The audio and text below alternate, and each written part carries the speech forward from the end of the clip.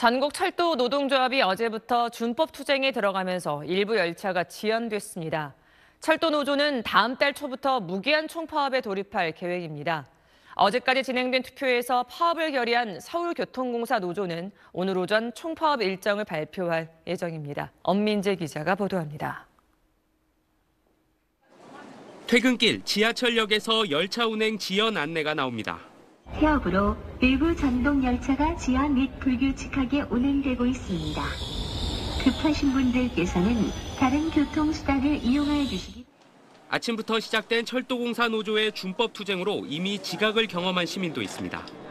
8시에 전주 타서 9시 전에는 내려야 되는데 오늘은 9시 20분쯤, 30분 내렸던 것 같습니다.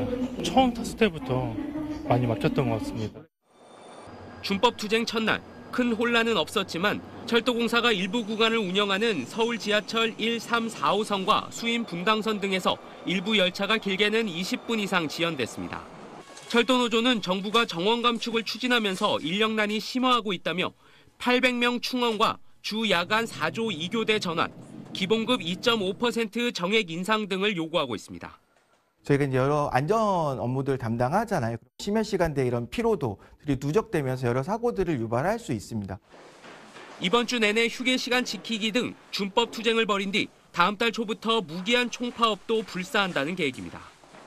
서울 지하철 9호선 노조도 인력 충원 등을 요구하며 일부 구간에서 준법 투쟁에 들어갔습니다. 대기율이 좀 고선의 경우에 저조하기 때문에 쉬고 있는 기관사를 불러서 운전을 시키거든요.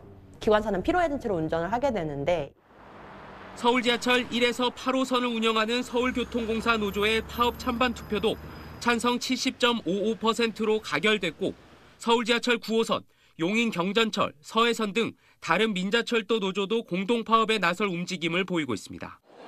정부는 만일의 사태에 대비해 비상대책본부 가동을 검토하고 있습니다. SBS 엄민재입니다.